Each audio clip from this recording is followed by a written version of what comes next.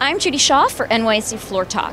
Stereotaxis is a global leader in robotic technologies designed to enhance the treatment of irregular heartbeats.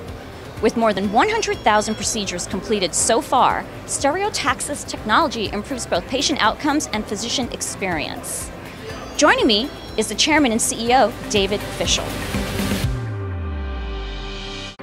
David, uh, tell me about the company's technology and how it's assisting with surgeries. So Stereotaxis developed a robotic surgical system. We use very precise computer-controlled magnetic fields to navigate an interventional catheter. Um, if you think about surgeries more broadly, there's a whole class of surgeries called endovascular surgery, where you use a catheter navigated through the blood vessels to treat any part of the body typically it's very difficult to navigate that catheter because the surgery takes place at the tip of the catheter, but the physician only has control of the handle. So it's as if you're doing surgery holding a pencil from the eraser or holding a gardening hose, but holding the hose three, four feet back from the edge. We allow the physician to take control using computer controlled uh, systems of the catheter tip directly. Now, what are some of the other advantages to robotic technology um, opposed to traditional surgery?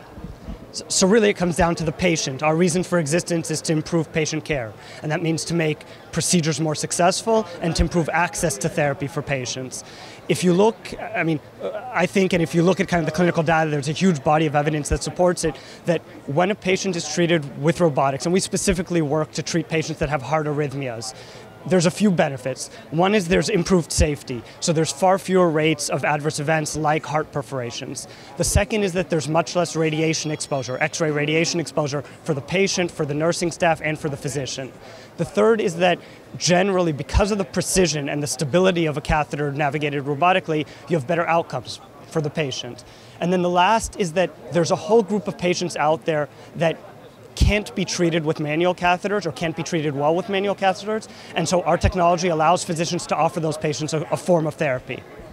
Okay, let's talk about future growth. You have a presence in 20 countries, or over 20 countries actually, currently. So, what are your plans for growing through 2020 and beyond? So we're still a small company. Uh, in just our current clinical focus, which is treating arrhythmias, we have less than 1% market share of the catheter-based cardiac ablation market. And so if you look at our clinical data, the vast majority of these procedures should be performed robotically. So we have large headroom for growth. In 2020, we're launching, we expect to launch in the near term, a new robotic system.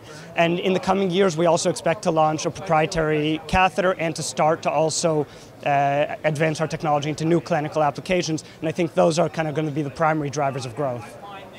Thank you, David. That was David Fischel. He is the chairman and CEO of Stereotaxis.